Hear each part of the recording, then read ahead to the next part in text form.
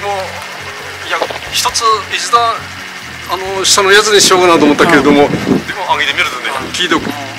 なんていうのかな泳いでる姿がいいんですよね。あの私もこれマグのために私買ったんですけれども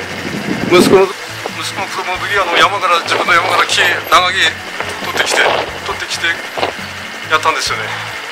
いや大変で今ねあのアルミのポールしてるからね金はかかるけれども。